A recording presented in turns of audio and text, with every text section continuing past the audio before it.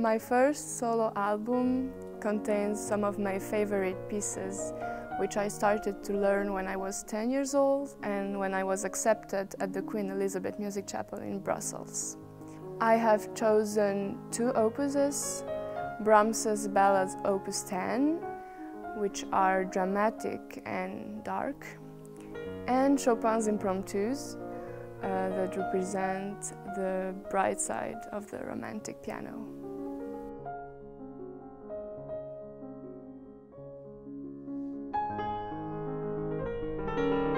It was Sylvia Thereza, the assistant of Maria João Pires at the Queen Elisabeth Music Chapel, who chose those pieces for me to learn. I have been regularly performing this repertoire for the last three or four years. The idea to record this CD came from Jean Müller, my piano teacher in Luxembourg, who is also an internationally acclaimed concert pianist with a lot of experience. I am really grateful for his advice and his support.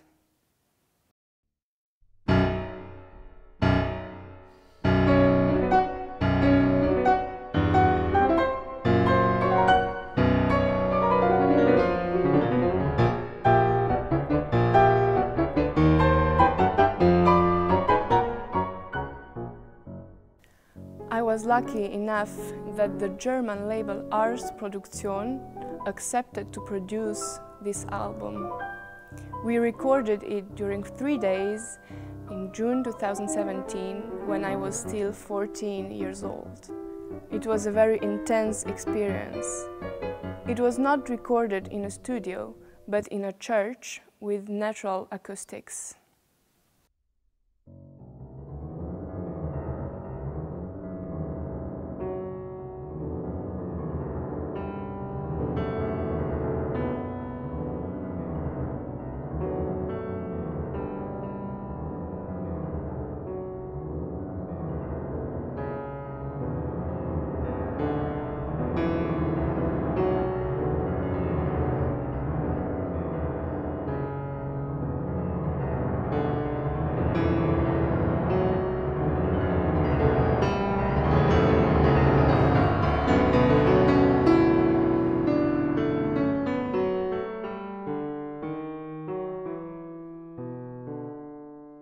Many people wonder why I recorded a contemporary piece which closes the album. Years ago, the composer of this piece, Albena Petrovic-Vratchanska, founded in Luxembourg a club with young musicians, of which I became a member when I was seven. In 2013, Albena decided to write Crystal Dream for me in order to introduce me to a more modern style. Thank you.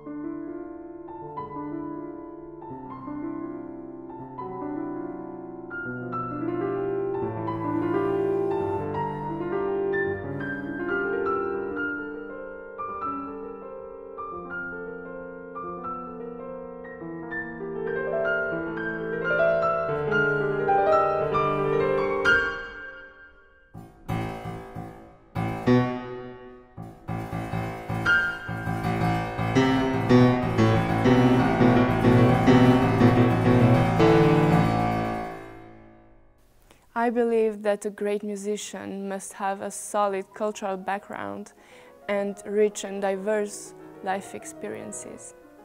That's why I continue regular studies and there have always been a lot of activities that I enjoyed and I practiced as different sports, social life, more recently social media and so on.